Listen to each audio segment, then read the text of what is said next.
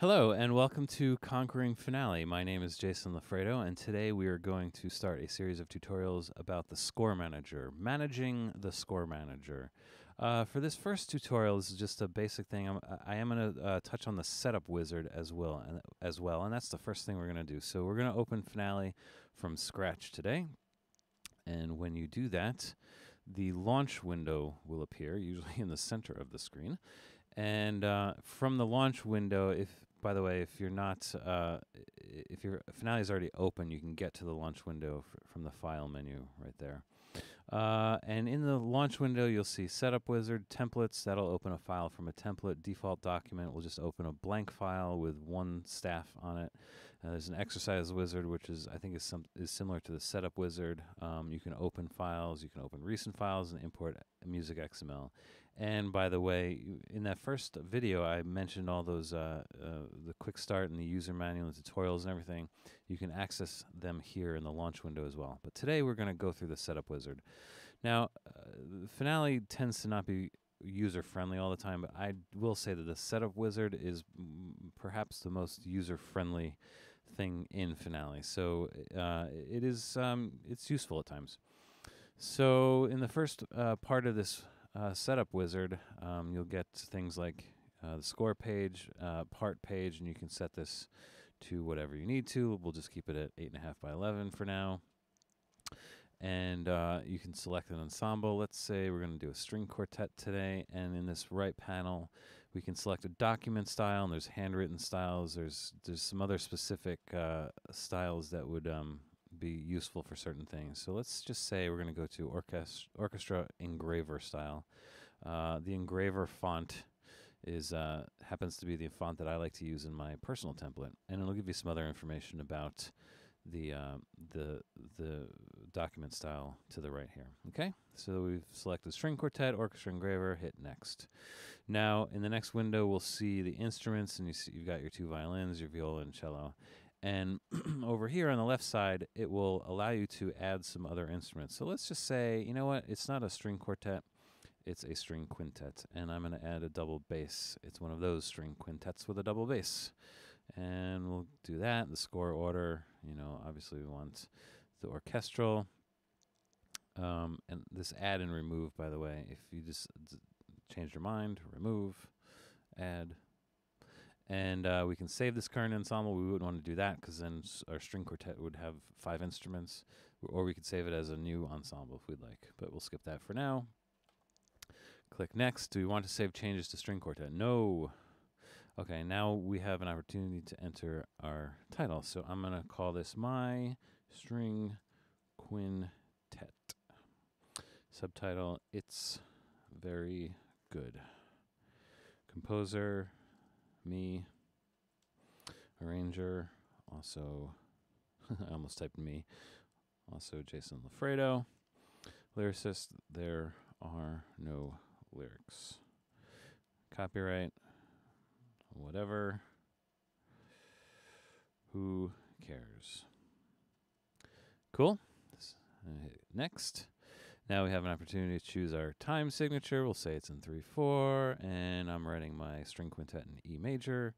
And yes, I'm going to specify an initial tempo marking of molto allegro, because this is going to be a fast string quartet, and the quarter note is going to be 185. And if I wanted to, I could specify pickup measure, just select the rhythmic value of the pickup measure that you would like. But yeah, I don't want that. And let's say uh, string quintet is going to be 142 measures long, because why not? Click finish. And there it is. And Finale always puts that first system a little bit too high. All right, so you've got you're all set up. You've got your string quintet score, and you can get to your parts here nice and easily. So the setup wizard is really quick and easy. I did that in like four minutes. Um, pretty easy to set up a score that way. Um, now that we have this, I'm going to take you through the first part of the score manager. And to get there, you go to Window, Score Manager, or Command K.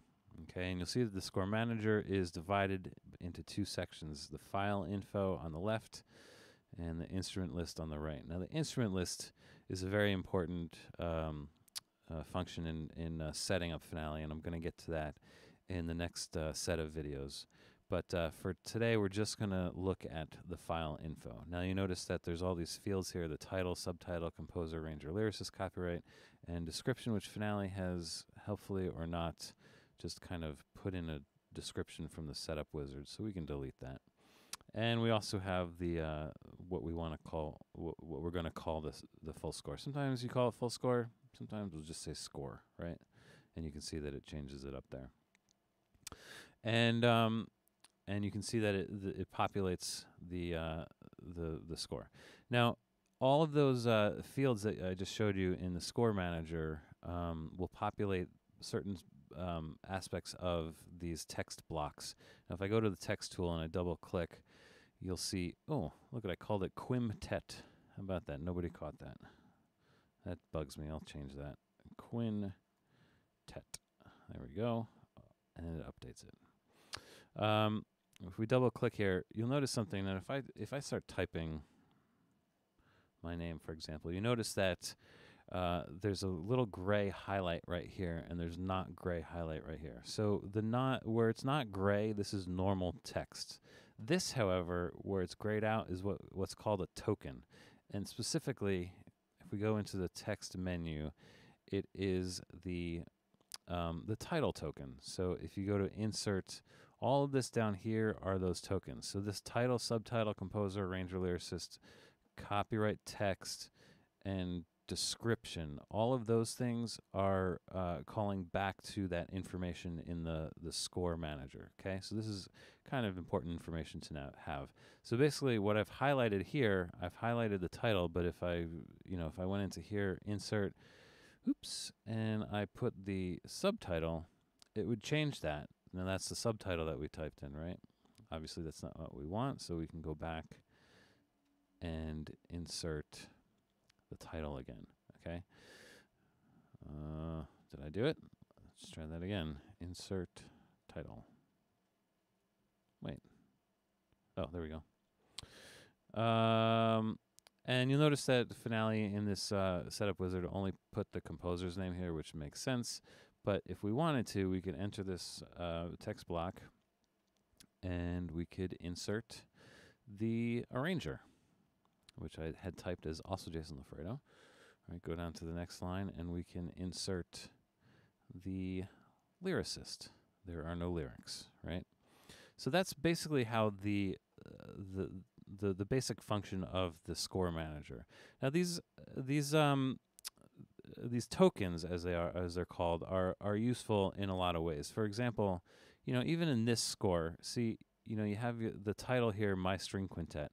It also appears here. So instead of having to type My String Quintet here and then having to type it here, you know, you can change it once. My blue, let's call it My Blue String Quintet it'll change it here and here. Uh, so that's you know the usefulness of the token. This is something that's not entirely unfamiliar if you with uh, or, or, not entirely um, foreign to certain um, computer programs. Um, so basically, that's the score manager. I'll get into more stuff with the text tool and how to insert things. There's also other other types of stuff that you can insert, certain uh, characters and page numbers and total pages and file names and stuff like that. Um, but we will talk about that later. The, the, the important thing as it relates to the score manager are those specific inserts. Okay, uh, just looking around this window, there's only this other thing on the, the on the right hand side, the created and last modified. These this is just internal information. You know, you put this.